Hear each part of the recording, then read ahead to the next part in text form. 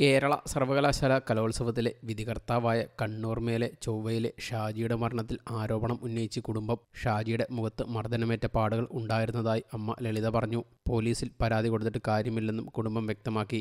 ഇന്നലെ രാത്രിയോടെയാണ് കേരള സർവകലാശാല കലോത്സവവുമായി ബന്ധപ്പെട്ട കോഴക്കേസിൽ ആരോപണ വിധേയനായ വിധികർത്താവിനെ കണ്ണൂരിൽ മരിച്ച നിലയിൽ കണ്ടെത്തിയത്. വിഷം ഉള്ളിൽ ചെന്ന് മരിച്ച നിലയിലാണ് ഷാജിയെ കണ്ടെത്തിയത്. ആത്മഹത്യാക്കുറിപ്പും പോലീസ് കണ്ടെടുത്തിട്ടുണ്ട്.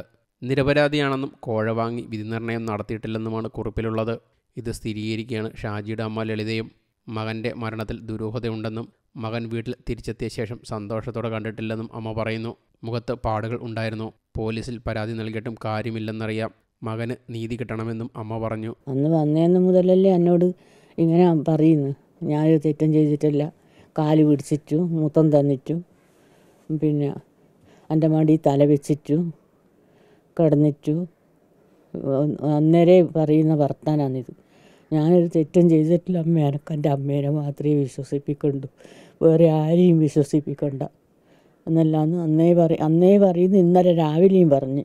ഇന്നലെ രാവിലെ മോന്റെ ഓൾ മറ്റേ മോന്റെ ഓൾ പണിക്ക് പോകാൻ വേണ്ടിയിട്ട് പോകുമ്പോൾ ഓളും ചക്കനും കുറേയെല്ലാം പറഞ്ഞു ഇവനോട്. പിന്നെ പാപ്പ നിങ്ങൾ ഒന്നും ഇതാക്കണ മനസ്സ് വിഷമിപ്പിക്കണ്ട. ഇതെല്ലാം വെറുതെയാണ്. പിന്നെ എന്നെല്ലാം പറഞ്ഞിട്ട് എന്തെല്ലോ പറഞ്ഞു ഓളും പറഞ്ഞു. പി എൻ ഷാജിയുടെ മരണത്തിന് ഉത്തരവാദി എസ് എഫ് ഐ ആണെന്ന് കെ സുധാകരൻ എം പിയും ആരോപിച്ചു. ഫലം അട്ടിമറിക്കാൻ എസ് എഫ് ഐ നിർണായക ഇടപെടൽ നടത്തിയെന്നും എസ് എഫ് ഐയുടെ സമ്മർദ്ദത്തിന് വഴങ്ങാത്തതാണ് ശത്രുതയ്ക്ക് കാരണമെന്നും അദ്ദേഹം വ്യക്തമാക്കി. വിഷയത്തിൽ വിശദമായ അന്വേഷണം വേണമെന്നും ഷാജിയുടെ വീട് സന്ദർശിച്ച ശേഷം കെ സുധാകരൻ പറഞ്ഞു. കഴിഞ്ഞ കുറേ കാല കുറച്ച് മാസങ്ങളായി കേൾക്കുന്ന വാർത്തകളെല്ലാം എസ് എഫ് ഐക്കാരുടെ ഗുണ്ടായുസത്തിന്റെ പ്രതിഫലനമായിട്ടാണ്. നമുക്കെല്ലാം അറിയാലോ ഇപ്പോൾ എത്രയോ ചെറുപ്പ ചെറുപ്പക്കാരുടെയൊക്കെ മരണത്തെക്കുറിച്ച് കേരളത്തിൽ ഇന്ന് വരെ കേരളത്തിൽ ഈ ഇന്ത്യ രാജ്യത്ത് ഇതുപോലത്തെ ഒരു കിരാതമായ മരണം സിദ്ധാർത്ഥന്റെ മരണം ഇതുപോലെ നടന്നിട്ടുണ്ടാവില്ല. എസ് എഫ് ഐ ആണ്.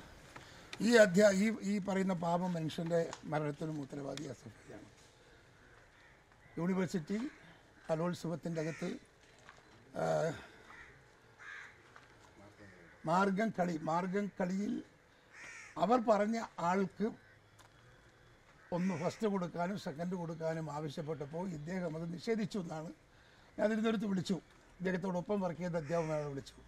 അവരൊക്കെ എന്തൊക്കെ പറഞ്ഞു? ഒരു കുറ്റം അവർ ചെയ്തിട്ടില്ലെന്ന് മാത്രമല്ല നിഷ്പക്ഷമതിയാണ് അയാൾ ഇതുവരെ അയാളെ പറ്റി ഒരു പരാതി ഉണ്ടായിട്ടില്ല. പക്ഷേ പരാതി എസ് എഫ് ഐക്കാർ ഉണ്ടാക്കിയതാണ്. ഇയാളെ തല്ലി. തല്ലി എന്ന് പറയുന്നുണ്ട്. ഇദ്ദേഹത്തെ തല്ലി. ആ ജീവിതത്തിൽ ഒരു അധ്യാപകൻ ഇതുപോലെ ഒരു മാർഗം കളി മത്സരത്തിൽ ഫസ്റ്റ് പ്രൈസ് കൊടുക്കണമെന്ന് പറഞ്ഞാൽ കൊടുക്കുമോ സംസ്കാരമുള്ളവൻ തറവാടിത്തുള്ള ഏതെങ്കിലും അധ്യാപകൻ കൊടുക്കുമോ പക്ഷേ എസ് എഫ് ഐക്ക് അത് കിട്ടണമെന്ന് നിർബന്ധമാണ് നിങ്ങൾക്കറിയാമോ? യൂണിവേഴ്സിറ്റി കോളേജ് ഞങ്ങൾ പിടിച്ച സംഭവം നിങ്ങൾക്കറിയാമോ? കെ എസ് യുക്കാർ പിടിച്ചത്.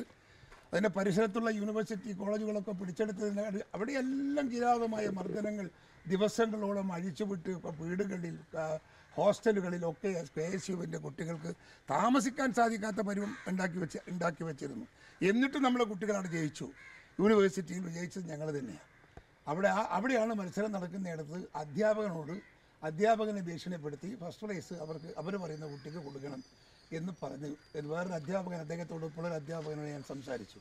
ആ പറഞ്ഞൊരു ഫോൺ ചെയ്തും ഫോൺ ചെയ്തും ഭീഷണിപ്പെടുത്തി എന്നാർത്ഥം പറയുന്നത്. ഏതായാലും അദ്ദേഹം അദ്ദേഹത്തെ തല്ലി അദ്ദേഹത്തെ അപമാനിച്ചു.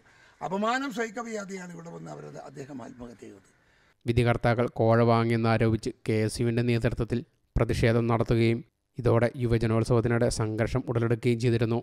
തുടർന്ന് കൂടുതൽ സംഘർഷ സാധ്യത കണക്കിലെടുത്ത് മത്സരങ്ങൾ പൂർത്തിയാക്കും മുമ്പ് വി സി ഇടപെട്ട് കലോത്സവം നിർത്തിവെപ്പിക്കുകയുമായിരുന്നു. News desk you talk